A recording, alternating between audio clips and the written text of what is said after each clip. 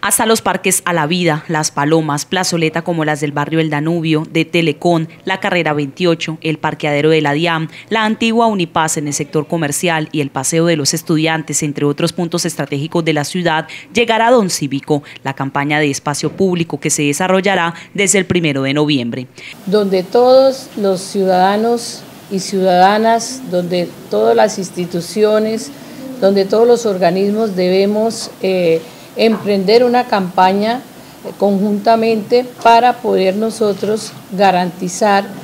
el espacio público en la ciudad, el cuidado del espacio público en la ciudad. La iniciativa de cultura ciudadana que se realiza desde 2016 busca la reinvención de los sectores que han sido invadidos o mal utilizados. Don Cívico eh, antes era un niño, ya hoy es una persona ya un poco más madura, en el cual tiene amigos, tiene vecinos y hay toda una sociedad allí que está contribuyendo a eh, la recuperación de espacios y de qué manera se van a hacer. La campaña es denominada Cuido mi espacio, cuido mi Barranca Bermeja. Esto, como lo dije hace un momento, es el componente cultural, ya va un poco más allá al cumplimiento de normas de convivencia y sano esparcimiento y allí entramos todos en esta tarea. Para las autoridades, la comunidad en general será el actor principal de esta iniciativa que se tomará parques, polideportivas, avenidas, plazoletas, entre otros escenarios.